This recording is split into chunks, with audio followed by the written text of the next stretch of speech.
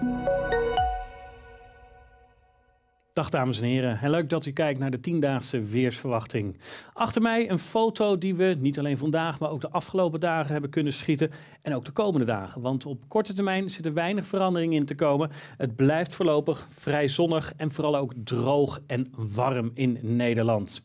Ja, vanaf grote hoogte kunnen we ons land dan op dit moment ook duidelijk terugvinden op de satellietbeelden. Hier, Nederland, maar ook de Britse eilanden, grote delen van Frankrijk, Duitsland, zuidelijk Scandinavië genieten op dit moment van prachtig zonnig, droog en warm zomerweer. Maar het levert ook problemen op. De droogte, niet alleen in ons land, maar ook in de omringende landen. Bosbrandgevaar, ook in Zuid-Scandinavië is dat risico bijzonder groot.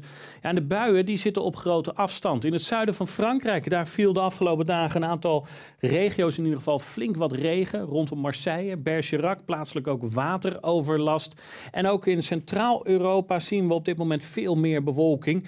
Bewolking in Polen, Slowakije, Hongarije, daar komen regelmatig regen- en onweersbuien tot ontwikkeling. Dat gaat al een aantal dagen zo door. Maar het bereikt onze omgeving niet, want ten noorden van ons ligt een krachtig hoge drukgebied en die houdt die buienstoringen voorlopig op ruime afstand. En in Zuid-Frankrijk zijn inmiddels de meeste buien ook alweer weg. Ook daar staat de komende dagen zonnig en warm zomerweer op het programma. Op langere termijn zit er overigens wel wat verandering aan te komen, maar op korte termijn dus niet. Morgen veel zonneschijn, een bries uit noord- of noordoostelijke richting, windkracht 5 in het Waddengebied. Daar wat lagere temperaturen, maar landinwaarts gewoon weer boven de 25 graden, ja tot 28 graden aan toe. En op vrijdag doen we dat ook nog eens dunnetjes over, 28 graden in het zuiden van Limburg. Met een wat meer noordwestelijke wind wordt het overigens in de kustgebieden met volop zonneschijn wel iets minder warm, maar ik denk dat het voor het gevoel nauwelijks merkbaar is. Om hier verandering in te krijgen, moet er echt verandering komen wat betreft de ligging van de hoge en de lage drukgebieden. Nou, als we kijken naar de situatie op dit moment, dan ligt er een lage drukgebied op de oceaan boven het centrale deel van de Middellandse Zee. Vandaar de buien ook bijvoorbeeld rondom Italië en Kroatië.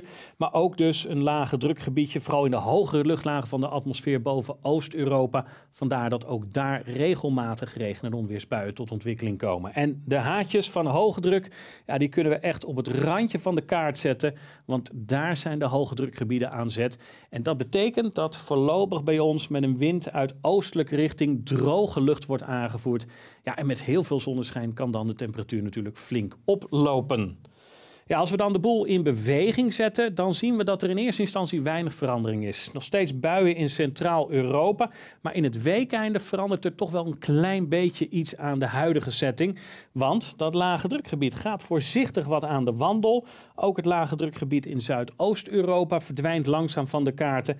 En de luchtdruk is nog altijd hoog in het noorden. Er komt ook een klein hoge drukbastionnetje boven het westelijke uh, Alpengebied. Nou, dat zorgt ook daar dan voor stabiel zomerweer. Na het weekeinde zien we wel echt wat veranderingen, want dat lage drukgebied komt steeds verder dichterbij en bereikt uiteindelijk ook wel onze omgeving. In welke staat, om het zo maar te zeggen, hoe actief die nog is, dat is de grote vraag. Maar we zien wel heel mooi dat er een soort van zone met uh, wat koelere lucht erachter zit. Dat komt geleidelijk aan vanuit het zuidwesten dichterbij. Begin volgende week hebben wij nog met een zuidoostenwind te maken. Met de aanvoer van hele warme, droge lucht. Dus ook begin volgende week is het nog erg warm. Maar die zone waarop een aantal regen- en onweersbuien tot ontwikkeling komen. Ja, die kan wel geleidelijk aan dichterbij komen. Misschien dat we daar zondagavond al heel lokaal een bui van meekrijgen. Maandag is dat risico in het zuiden van Nederland groter. En deze clusters met buien lijken dan uiteindelijk richting de dinsdag ons land aan te doen. Maar ook daarbij geldt weer, zijn ze nog zo actief zoals ze hier in de kaart zijn ingetekend of neemt de intensiteit alweer af? In ieder geval begin volgende week lijkt het toch tot een aantal buien te gaan komen. En als we dan kijken naar de temperaturen, dan zien we met name donderdag en vrijdag de temperatuur een heel klein beetje naar beneden gaat. Zomers warm waarschijnlijk nog wel op veel plaatsen landinwaarts. En we zien dat ook in de hogere luchtlagen van de atmosfeer. Wat lagere temperaturen op zo'n 1500 meter. Um, maar juist in het weekeinde zien we toch weer vanuit het zuiden wat warmere lucht doordringen tot onze omgeving. En dan zien we die temperaturen weer duidelijk omhoog gaan. Met uiteindelijk richting zondag en maandag, zeker in het zuiden van Nederland, weer temperaturen op 1500 meter hoogte rond de 15, 16 graden. En om dan de temperatuur daaruit te kunnen berekenen aan het aardoppervlak, moet je daar zo'n 15 tot soms wel 18 graden bij optellen. En dat betekent dus dat we met name zondag en maandag weer mogen rekenen op tropische temperaturen. Ja, en dat zien we dan ook terug in de komende weersverwachting. Nou, vrijdag, zaterdag met veel zon, 25 graden prima zomerweer in Nederland, maar die temperaturen gaan dus omhoog. Zondag gemiddeld 28 graden en de 29 graden op maandag is echt een gemiddelde, ook wat eh, enige onzekerheid. Het zou zomaar kunnen zijn dat in het zuiden van Nederland de temperatuur royaal boven de 30 graden uitkomt. En dan met name dinsdag, dan neemt het, eh, het risico op een enkele regen- of onweersbui toe.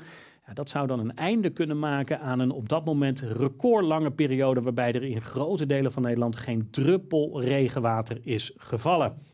Ja, als we het dan toch over die warmte hebben, ja, hoe ziet dat dan uh, eruit wat betreft zomerse warmte, meer dan 25 graden, en tropische warmte, meer dan 30 graden? Nou, als we dat in staafdiagrammetjes zetten, dan zien we eventjes vrijdag, zaterdag het risico op een zomerse dag terugzakken naar zo'n 50%.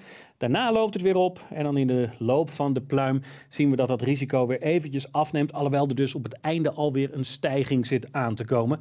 Wat betreft tropische hitte lijkt de maandag eruit te springen. In Midden-Nederland toch wel een gerede kans dat we wederom boven die tropische tropische waarden van 30 graden gaan uitkomen.